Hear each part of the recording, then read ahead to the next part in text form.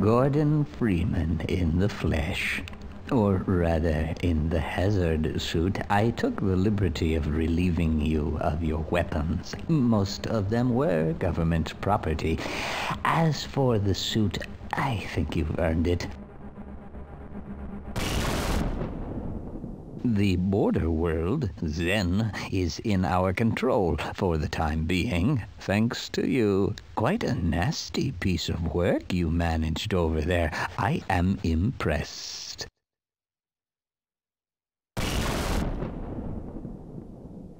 That's why I'm here, Mr. Freeman.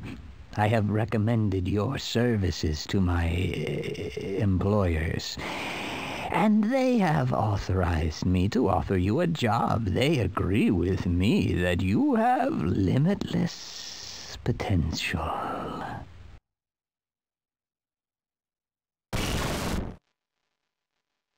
You've proved yourself a decisive man, so I don't expect you'll have any trouble deciding what to do.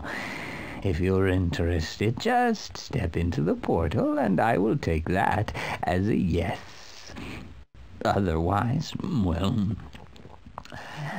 I can offer you a battle you have no chance of winning. Rather an anticlimax after what you've just survived. Time to choose.